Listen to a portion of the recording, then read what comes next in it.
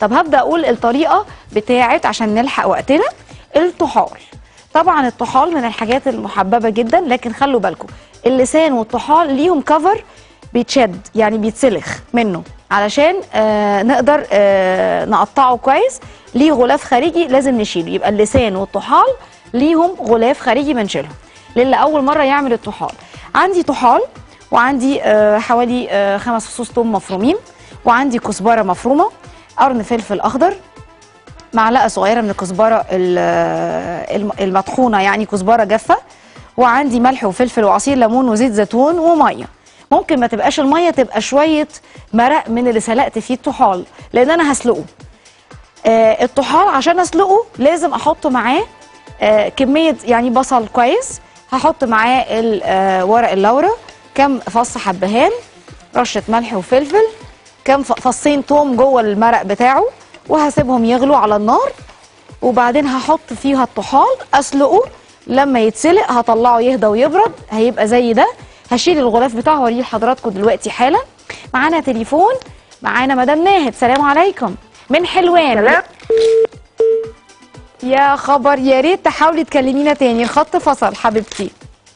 بصوا أهو. ليه كفر شلناه. بقى كده. وبيبقى رائع. ادي الطحال. خلاص؟ هاخد بقى كده البلانشة الحلوة دي وبعدين هبدأ أقطع هنا أحط الطحال عليها كده ونقطعه. كده. هنا. وهاخد عايزة السكينة السيلفر يا أحمد؟ شوف دي حامية ولا لأ. كده وأنا المخاصي سايباها كل ده بتتشرب كمية الإيه؟ آه لا عايزة التاني تسلم إيدك تتشرب كمية ال- الخل اللي إحنا حطيناها. بصوا. معانا مدام سميرة حبيبتي. حبيبتي حبيبتي ازيك عاملة إيه؟ يا روح قلبي. صباح الفل يا حبيبتي. صباح الفل إيه؟ على عيونك حبيبة قلبي. تسلم إيدك الطحال ده أنا بحبه جدا يا. روح قلبي يا روح قلبي نبعته فورا. الله يخليك. كانت حلوة قوي بس إحنا هنصوم خلاص. آه أنتوا صيام العذراء إن شاء الله كل سنة وأنتم بالف صحة وسلامة يا رب. في يا حبيبتي كل سنة وأنتم طيبين مسيحيين ومسلمين كل سنة وهم طيبين. يا رب يسعد أيامكم جميعا. يعني جاي العيد مع الصيام بتاعك. مع الصيام بتاعكم معلش حقكم عليا. لا حلو حلو حبيبتي حلو. بعد كده إن شاء الله نبقى ناكل الطحال وناكل كل حاجة. كل حاجة إن شاء الله بإذن الله. تاكلوا كل حاجة. بتسعدكم يا رب. عايزة أسألك على حاجة. اموري آه، بالنسبة لل للجلاش آه. آه، بيطرى مني شوية. الجلاش؟ عايزاه- عايزاه يبقى مقرمش كده وحلو. أعمل إيه؟ انت بتعمليه إزاي؟ بتحطي له أي سوائل؟ ولا أقلله. لا نقلله. إحنا آخرنا في اللبن على الصينية الكبيرة كوباية. كوبايه وبيضة. بيضايه وبيضة. آه. وبيضة واحدة. وملح وفلفل ورشه جوز الطيب اطعم بيها بس ومعلقتين زيت. ومعلقتين زيت. وإن شاء الله ما تحطيش بين ال- ال- الجلاش كله آه، زيت مش مهمة ولا ولا أي حاجة. آه. بس كده. هو بيني وبينك نيفين هي اللي اللي طالبة مني الحكاية دي. ويدخل يدخل حبيبتي اعمليه لها وخليه في الفرن على على درجة حرارة متوسطة الأول ما تشغليش فوق يا مدام سميرة. طيب. هو هياخد اللون لوحده مش محتاج تشغلي فوق والله. طيب خلاص. لحد ما يقرمش معاكي وهتشيليه يبقى زي الفل. لو كترنا السوائل هيطرى قوي. أحط اللبن والبيض آه، على طول ولا اللبن والبيض بعد ما نقفل الصينية واديناها تقطيعة كده خفيفة نروح رشين على الوش قبل ما يدخل الفرن. يكون الفرن سخن من قبلها بربع ساعة. بس كده. طيب تسلم إيدك تسلمي يا روح قلبي. تسلمي شرفتينا ونورتينا. طيب أنا بصوا بقى بقفل كده أهو. هي بدأت بقى تتشرب. خليني إيه؟ أهو. وتمام مع الخضار الحلو ده. أنا هسيبها تتشرب كده المخاصي شوية. قطعت الطحال زي ما حضراتكم شايفينه كده. وهجاوب على أم جوزيف حبيبتي اللي سألتني امبارح على العيش ال- المحمص. مش ناسياكي يا حبيبة قلبي هجاوب عليكي. لكن آه، إحنا قطعنا الطحال مش هنعمل أي حاجة غير لما نرجع بعد الفاصل. نجاوب على الأسئلة ونعمل بقية وصفاتنا. مستنية حضراتكم.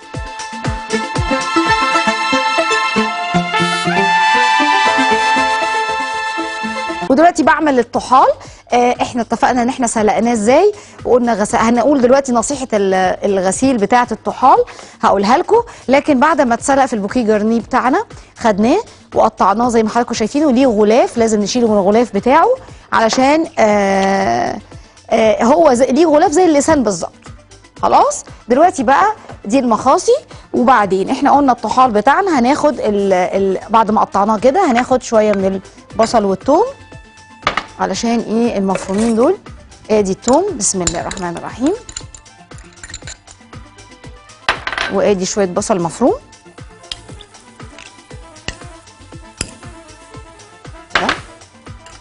وخليني إيه قولوا لي آه على آه، طريقة غسل هنغسل الطحال. كان نفسي انزلها بس إيه عشان الوقت. ادي ملح. وادي رشة فلفل. وخليني هنا عندي خلي بس الفلفل بس أشوح البصل شوية.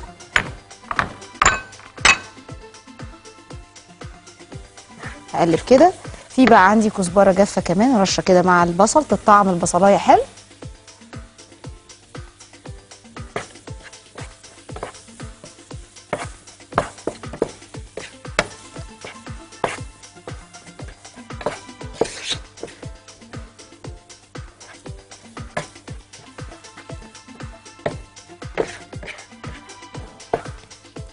بصوا بقى إحنا أول حاجة هنعمله هنحطه في مية ولازم نشيل الطبقة اللي هي بتبقى حواليه كده طبقة بيضة بس شيلوها بإيديكم مش بالسكينة. خلاص؟ دي دي أهم حاجة في في البداية. وهنشيل كل الدهون بقى الدهون دي تتشال كلها من على الجلد حواليه. خلاص؟ هنجيب بقى آه مية هنحط فيها عصير ليمون ولازم هو ينزل فيها عشان يعني نبقى غسلناه. خلاص؟ إحنا بقى مفيش حد يقطع الطحال قبل يتقطع بعد. خلاص؟ يبقى هسلقه. بعد كده الخطوة اللي جاية بعد الغسيل إيه؟ هحطه في حلة فيها بصل وفيها ورق لورا وفيها حبهان وفيها مستكة فيها البوكيه جرنيه ده حتة كرفس ممكن. هنزله فيها يتسلق سلق العادي. تقطيعه بعد السلق بعد ما يهدى ويبرد. ليه غلاف بره خارجي؟ ده بنشيله وبعد ما بشيله آه بروح على طول مقطعاه وهو كده. خلاص؟ فده شكل الطحال. طيب نيجي بقى هنا. أنا بشوح له إيه؟ بشوح له ف- كام فص توم كده حلوين. معايا بصلاية برضو كده مفرومة. حطيت شوية من الكزبرة الخضراء. رشة ملح وفلفل وكزبرة جافة. وبعدين هبدأ أنزل كده الفلفل الحار. هنا وخليني بقى إيه آخد الطحال. بسم الله الرحمن الرحيم. كده. أهو. شوية من عصير الليمون شوية خضرة كده وآدي رشة كزبرة ورشه فلفل ورشة ملح. خلاص وهقلب. كده تقليبة حلوة. وبعدين هسيبه شوية في الخليط ده كده خمس دقايق يتشوح حلو تشويحة حلوة والنار تبقى حامية قوي طاسة تحمى. وبعدين خلاص. طحال من الحاجات اللي يعني مش محتاجة معاها حاجة. خلينا بقى نتكلم عن الفشة والكرشة. الفشة ما بتحبش الطماطم. الكرشة بتحب الطماطم. فأنا دلوقتي الكرشة طبعا عشان نجيبها لازم تبقى بتتنضف. أول تنظيفة ليها آه لتنظيفة ال- آه، الكرشة.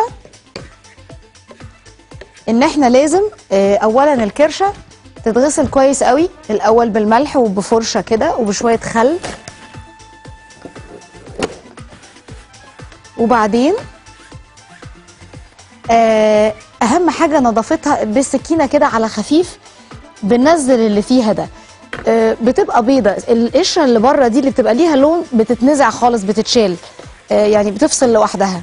وبتبقى بيضة كده شبه الكاليماري شوية. وفي ناس بتعملها زي ما هي لما بتبقى يعني بتبقى متعبة ليها قوي. خلاص أدي كده ده الطحال.